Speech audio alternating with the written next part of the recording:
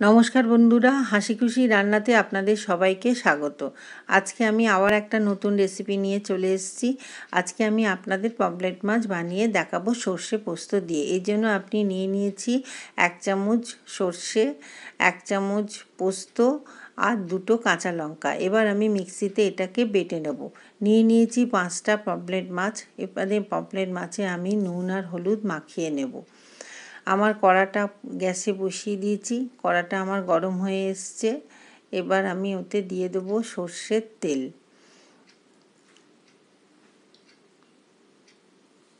সর্ষের তেলটা দেওয়া হয়ে গেছে। এবারে আমি মাছগুলোকে একটা একটা করে ভেজে নেব। দেখুন আমি মাছটা কীভাবে ভাজছি।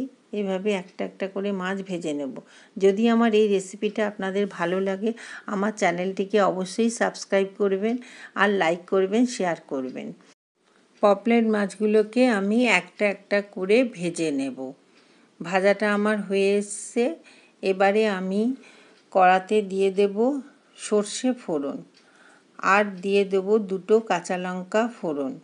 কাঁচা লঙ্কা ফোড়ন দেওয়া হয়ে যাওয়ার পর যে সর্ষে পোস্তটা আমি মিক্সিতে পেস্ট করে রেখেছিলাম, সেটা আমি দিয়ে দেব। দেওয়ার পর আমি কিছুক্ষণ নাড়িয়ে নেব। নাড়ানো হয়ে যাওয়ার পর বাদবাকি যে পেস্টটা বেঁচে আছে, তাতে আমি একটু জল দিয়ে গুলে দিয়ে দেব। জল দিয়ে দেয়া হয়ে গেছে আমার। এবারে আমি এটাকে একটু নাড়িয়ে নিয়ে দিয়ে দেব হলুদ গুঁড়ো। হলুদ গুঁড়ো দেওয়ার পর দিয়ে দেব লঙ্কা গুঁড়ো।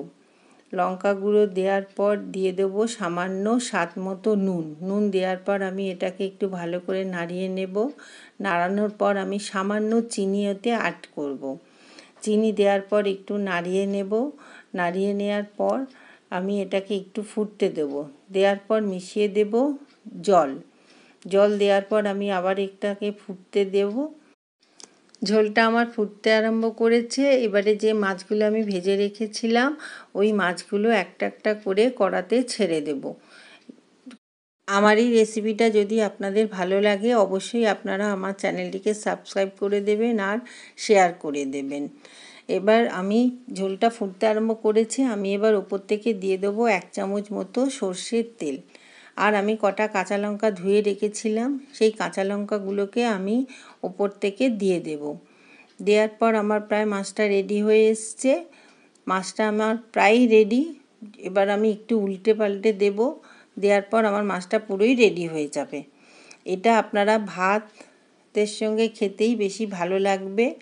আমার এই ভিডিওটাকে দেখার জন্য আপনাদেরকে অসংখ্য ধন্যবাদ।